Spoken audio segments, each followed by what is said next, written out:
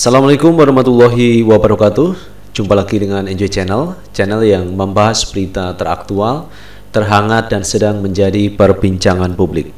Sahabat Enjoy Channel, kali ini yang akan kita bahas mengenai DPD RI, Dewan Perwakilan Daerah yang akan mengajukan judicial review atau menggugat terkait undang-undang pemilu di mana dalam undang-undang itu syarat untuk menjadi calon presiden yang bisa mengajukan presiden itu harus punya suara 20% atau PT 20%. Ini yang akan digugat oleh DPD RI.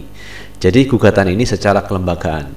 Namun sebelumnya teman-teman kalau kita lihat perkembangannya beberapa waktu kemarin itu memang sudah ada beberapa elemen masyarakat yang mengajukan hal yang sama, menggugat terkait undang-undang pemilu itu. Kenapa mereka menggugat? Karena mereka merasa ini sesuatu yang tidak adil, di mana semua rakyat Indonesia tanpa terkecuali sebenarnya punya hak yang sama untuk mencalonkan diri menjadi calon presiden. Nah, kali ini kan dibatasi dengan angka 20% suara dan ini dimiliki oleh partai politik. Berarti yang punya hak untuk mengajukan calon presiden adalah partai politik. Ini yang digugat oleh elemen masyarakat dan kali ini secara kelembagaan DPD RI akan melakukan gugatan uji materi terkait undang-undang pemilu terutama yang mengatur terkait prasyarat untuk menjadi calon presiden. Nah, teman-teman untuk lebih jelasnya coba kita baca berita, teman-teman. Kita ambil berita dari duta.co. Ini baru seru. DPD RI akan gugat presidensial threshold ke MK. Oke, kita baca beritanya teman-teman. Dewan Perwakilan Daerah Republik Indonesia DPD RI secara kelembagaan akan mengajukan judicial review terkait presiden threshold ke Mahkamah Konstitusi. Rencana itu disepakati oleh anggota DPD RI dalam sidang paripurna ke-8 masa sidang 3 tahun 2021-2022 di Gedung Nusantara 5, Komplek Parlemen Senayan, Jakarta, Jumat 18 Februari 2022. Untuk mengakomodir aspirasi masyarakat dan beberapa elemen organisasi kemasyarakatan yang diperoleh ketika rapat dengar pendapat. FGD dalam kunjungan kerja maka DPD RI secara kelembagaan akan mengajukan judicial review terkait presidensial threshold dimaksud ke Mahkamah Konstitusi. Apakah hari ini dapat kita setujui? Tanya pimpinan sidang. Ketua DPD RI AA Lanyala Mahmud Mataliti. Setuju, jawab anggota DPD RI yang mengikuti sidang baik fisik maupun virtual. Lanyala kemudian mengetuk palu sidang tiga kali. Dijelaskan oleh Lanyala dalam pengantar sidang bahwa wacana calon presiden dan wakil presiden serta presiden presidensial threshold bukan gagasan baru. Namun sudah menjadi diskursus publik sejak tahun 2003 atau 2004 saat bekerjanya Komisi Kajian Ketatanegaraan K3 MPR dan menjelang pemilu tahun 2009. Berarti teman-teman masalah eh, terkait presiden threshold 0% itu awalnya itu sudah dipersoalkan di tahun 2003, 2004. Ini sudah dipersoalkan. Tetapi walaupun dipersoalkan tetapi masalah ini undang-undang ini tetap berjalan sampai sekarang. Dan sekarang ini digugat lagi. Mumpung belum pemilihan presiden di 2024. Jadi akan diuji kembali terkait undang-undang pemilu mengenai syarat calon presiden. Dan ini cukup bagus teman-teman kalau DPD RI ini memfasilitasi elemen masyarakat yang melakukan gugatan ke Mahkamah Konstitusi. Jadi bukan hanya sekali gugatan dilakukan kepada Mahkamah Konstitusi, tetapi sudah beberapa kali. Namun sampai hari ini kita belum menemukan apa titik temu terkait undang-undang pemilu tersebut. Jadi banyak elemen masyarakat yang mengajukan gugatan judicial review ke Mahkamah Konstitusi. Dan kali ini luar biasa teman-teman, DPD RI mau melakukan gugatan secara kelembagaan. Ini patut diacungi jempol eh, Ketua DPD RI Lanyala Mataliti. Dalam kesempatan itu, Lanyala juga menegaskan setidaknya ada tiga faktor yang mempengaruhi dukungan atas usul calon perseorangan maupun presidensial threshold. Pertama, kekecewaan atau ketidakpuasan terhadap pelaksanaan demokrasi.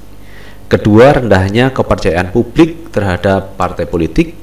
Ketiga, semakin kuatnya dukungan atas ide calon perseorangan dan wacana presiden threshold 0% paparnya. Menyikapi tiga hal ini, lanjutnya DPD RI telah berupaya untuk memasukkan usulan RUU tentang pemilihan umum ke dalam prolegnas RUU prioritas tahun 2022. Namun, tidak diakomodir oleh DPR dan pemerintah. Oleh karena itu, kami mengapresiasi upaya hukum dari beberapa anggota DPD RI yang telah melakukan judicial review terhadap Undang-Undang Nomor 7 Tahun 2017 tentang pemilu ke MK. Kami mendukung upaya tersebut tukasnya. Nah, ini teman-teman yang cukup menarik terkait gugatan uji materi Undang-Undang Pemilu Nomor 7 Tahun 2017. Karena banyak masyarakat yang mempertanyakan kenapa harus PT 20%?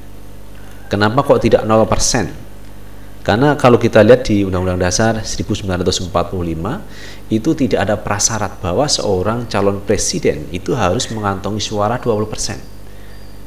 Jadi tidak ada prasyarat seperti itu di Undang-Undang Dasar 1945. Karena itu wajar jika publik, masyarakat ini menguji kembali terkait Undang-Undang Pemilu nomor 7 tahun 2017. Dan apalagi kali ini DPD RI lewat Ketua Umum Lanyala Mataliti ini e, mengajukan secara kelembagaan menguji undang-undang pemilu tersebut ke Mahkamah Konstitusi. Nah teman-teman kalau kita lihat kemarin itu ada yang menarik Liu Sungkarisma seorang aktivis ini juga mengajukan gugatan ke Mahkamah Konstitusi terkait Presiden Threshold 0% ini. Bahkan Liu Sungkarisma ini tidak didampingi oleh pengacara. Beliau datang sendiri ke MK ingin menguji terkait undang-undang pemilu ini. Jadi sebenarnya baik melalui pengacara atau tidak, tetapi inti materinya kan sama. Menginginkan publik atau masyarakat itu syarat menjadi seorang calon presiden itu adalah syaratnya 0%. Sebenarnya permintaan itu. Dan saya pikir pesan itu sudah ditangkap oleh MK Mahkamah Konstitusi.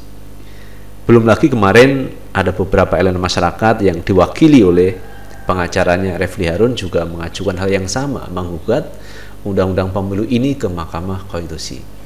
Jadi semakin banyak masyarakat yang mengajukan gugatan tentunya MK harus mempertimbangkan ini semua. Kenapa harus 20% untuk menjadi calon presiden? Kalau 20% maka yang hanya bisa mencalonkan adalah partai-partai besar. PDIP misalkan, kemudian Gerindra, Demokrat, e, Golkar, ya hanya seputar itu nanti calon presiden yang akan dilahirkan dari pemilu 2024 yang akan datang. Kalau tetap memakai Undang-Undang e, Nomor 7 Tahun 2017. Karena itu wajar jika masyarakat ini mendapatkan seorang pemimpin yang legitimate, pemimpin yang disukai rakyat. Bahkan kalau kita melihat teman-teman baru-baru ini muncul beberapa nama calon presiden yang cukup potensial. Ada Pak Prabowo Subianto, ada Ganjar Pranowo, ada Pak Anies Baswedan. Bahkan ada Ridwan Kamil juga masuk dalam jajaran e, hasil survei teman-teman seorang calon presiden potensial. Padahal seperti Pak Anies maupun RK ini tidak punya partai politik, tetapi elektoralnya ini cukup bagus. Banyak disenangi oleh masyarakat. Bahkan beberapa wilayah ini sudah mendeklarasikan Anies calon presiden, Anies calon presiden. Padahal tidak punya partai politik. Ini menunjukkan bahwa seorang pemimpin ini tidak harus lahir dari partai politik. Ternyata seorang pemimpin bisa jadi lahir dari perseorangan, dari independen tanpa ada afiliasi dengan partai politik seperti yang terlihat pada Pak Anies Baswedan. Jadi saya pikir sah dan wajar kalau DPD RI kemudian elemen masyarakat mengajukan gugatan ke Mahkamah Konstitusi mengenai uji materi terkait syarat menjadi seorang calon presiden yang diminta adalah 0%. Bahkan kalau kita melihat perkembangan terakhir, Partai Umat, partai yang baru lahir kemarin itu juga mengajukan ingin menguji undang-undang pemilu syarat calon presiden 0% ini ke Mahkamah Konstitusi. Jadi banyak partai politik yang ingin menguji, kemudian dari perorangan juga begitu, dari kelembagaan juga begitu. Jadi kita tinggal tunggu saja teman-teman apa keputusan dari Mahkamah Konstitusi apakah tetap menguatkan terkait prasyarat menjadi seorang calon presiden itu 20% atau menghapus itu semua dan ini kembali ke 0%. Jadi syarat menjadi seorang calon presiden adalah 0% bukan diukur dari berapa jumlah suara yang diperoleh tetapi karena e, mereka punya kualitas, punya kemampuan untuk bisa maju di 2024. Itu teman-teman yang bisa kita bahas kali ini dan bagaimana menurut pendapat teman-teman sekalian tulis di kolom komentar karena komentar teman-teman akan sangat bermanfaat untuk yang lain. Sukses selalu. Assalamualaikum warahmatullahi wabarakatuh.